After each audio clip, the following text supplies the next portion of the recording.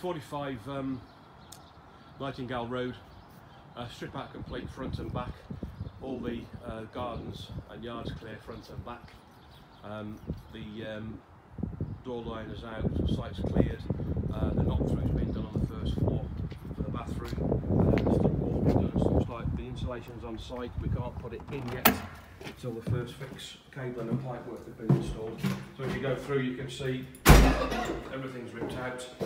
Uh, the fireplace has been taken out and the uh, chimney sweep's coming tomorrow uh, to sweep the chimney. We've returned some of the skirting boards for reuse. Um, plasterboard on site for overboarding. All skirting boards have been removed where necessary uh, for overboarding to do fire rigs. Kitchen all gone, tiling taken away, uh, the downstairs bathroom taken out, toilet's been left in for use on site, uh, all plumbing made safe, so on and so forth. Um, all sinks made safe around there. Front and back gardens cleared. Um, going upstairs.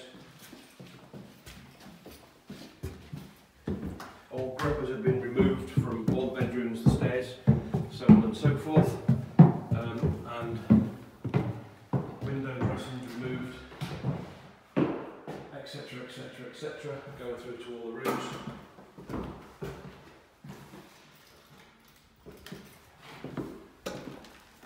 On the landing, we've got the knock through for the entrance for the bathroom for the first floor.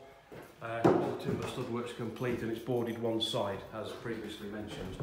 So going into the rear bedroom, uh, all the cupboards are actually where the boiler was.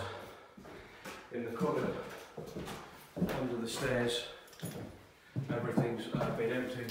In there we've got stored all the insulation ready to go in the wall once the services have been completed. So going through into the bathroom, uh, all the plywood floor that used to be down has been removed. Uh, bath, all the tiling's been taken away. The unit that was left in there has been taken away. The toilets here ready for reuse. All services, electric and plumbing made safe. Site clean and tidy. End off.